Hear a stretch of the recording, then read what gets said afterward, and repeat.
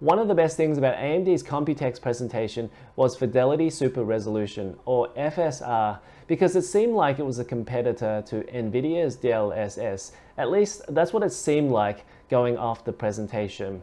So I think most people saw the performance numbers and saw the image quality and figured AMD had just done the impossible. So what kind of voodoo magic did AMD use to get performance like this? So I decided to go back and check out the video again just to see that what the image quality was like and I was really surprised by the results. So I'm going to show you the footage again, you can make up your own minds and hopefully you can still see it despite YouTube's compression techniques and if you can't, well you're just going to have to take my word for it or you can go and download the video yourself and check it out on your own computer. Okay, if you like this video, make sure to click the like button and subscribe to the channel for more videos like this. And we have a Discord server now, so come along and join our discussion there. And I'll leave a link in the description below. Now I have to admit that I myself was pretty hyped about FSR because it boosted performance and it was open source meaning developers could implement it on either Nvidia or AMD GPUs and in the AMD presentation AMD had FSR running on a GTX 1060, a GPU that not even Nvidia has a DLSS implementation. It almost sounds too good to be true. If it was as good as DLSS, then surely there would be no need for DLSS and FSR would just be the standard given it works on all GPUs. Now, before I get into the image analysis, there was an article from WCCF Tech from Usman Pirzada who also analyzed the image quality from the video and came to the conclusion it's not anything like DLSS. I have also seen other people on Twitter that have raised questions over FSR image quality. The WCCF Tech article says, while NVIDIA DLSS is an upscaling system based on deep learning inference and uses actual hardware to enable performance enhancement without any serious quality degradation, FSR is just a simple spatial upscale.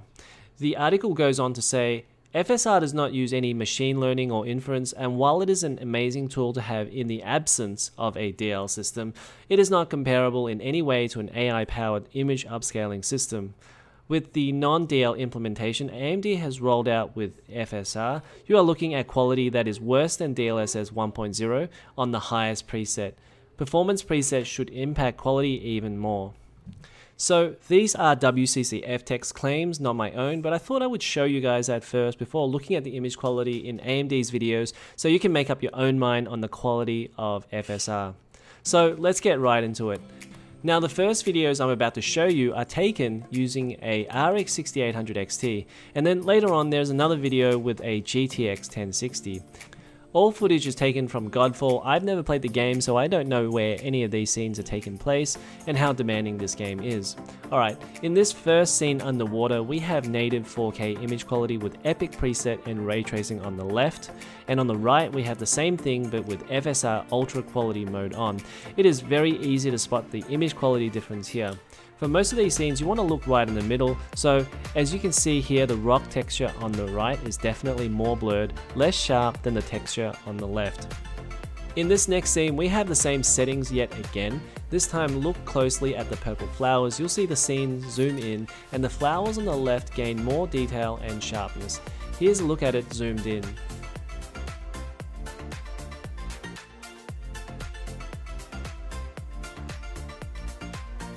I've also zoomed in on this coral piece and you can see it gains some detail as it crosses from FSR mode to native.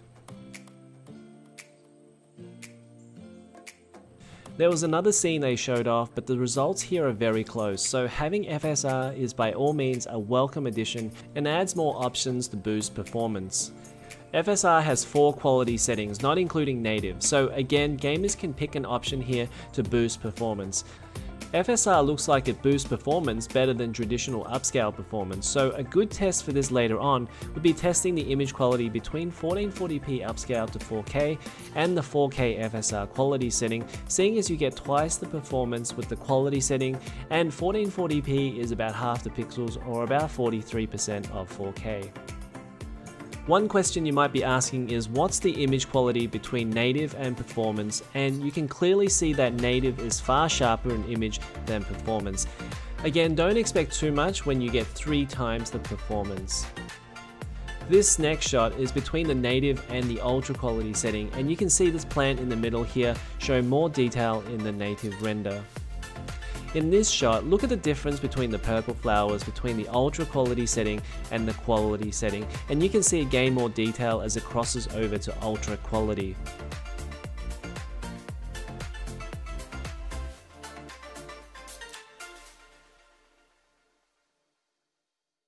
Similarly, looking at the ultra quality to quality setting again, look at the rock face gaining more detail on the textures.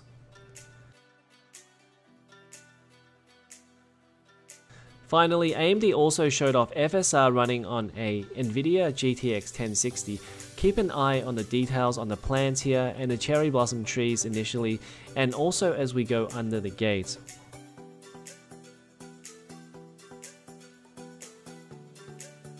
The plants definitely look worse off than native. And the cherry blossoms look like they have a blur to reduce detail with FSR on. Similarly, it is pretty evident that as you go under the gate and the cherry blossom trees cross the line in the middle, that there's a difference in detail. Now with all that being said, I'm not here to champion NVIDIA's DLSS by rubbishing AMD's FSR implementation. We should all probably wait until FSR releases and then we can see it running natively on our computers. That being said, I think there's a lot of people who are going to be happy with a big performance boost for a small amount of image quality loss. And for AMD users and older NVIDIA users who haven't upgraded to the latest hardware, there's really no other option. For the time being though, I do think that it's a little bit premature to say that FSR is equivalent to NVIDIA's DLSS based off of AMD's presentation. Okay, that's it for this one. If you like this video, make sure to hit the like button and subscribe to the channel for more videos like this, and I'll see you in the next one.